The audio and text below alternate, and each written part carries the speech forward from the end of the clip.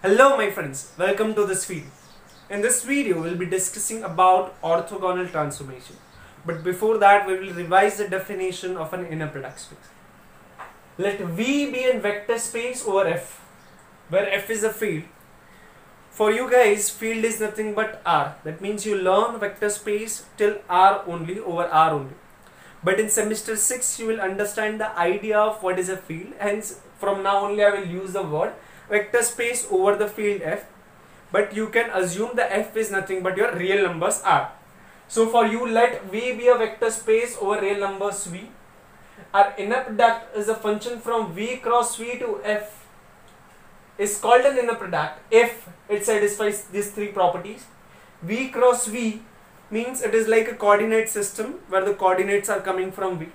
That means an inner product takes two element from the vector space and gives the output as an element of f and it satisfies these three properties.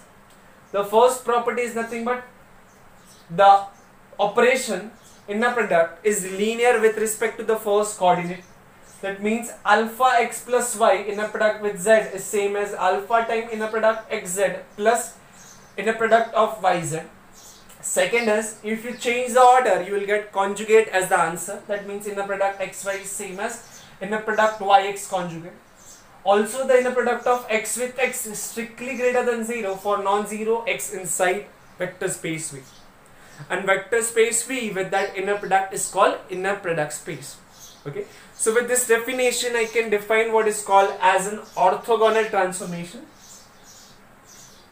A linear operator, LO I will use the word, linear operator means what?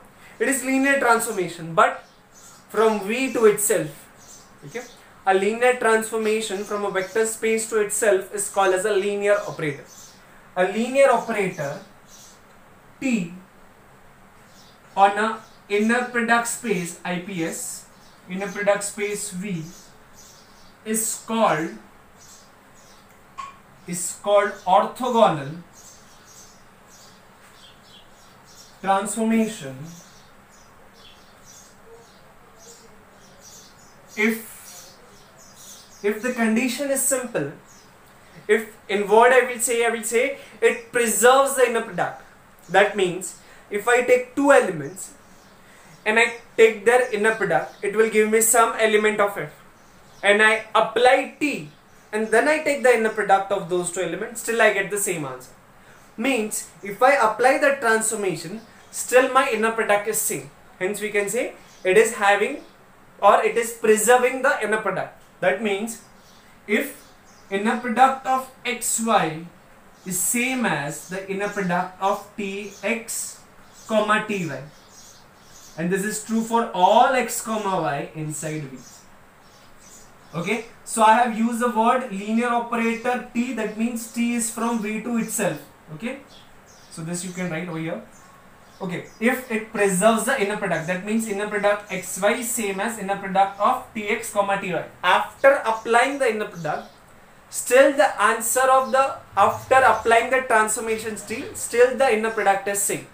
Hence inner product xy same as inner product tx comma ty so this is nothing but the simple definition of an orthogonal transformation. I know there are lots of questions about give us some example what is the meaning why it is useful We'll discuss all these things in the following lectures.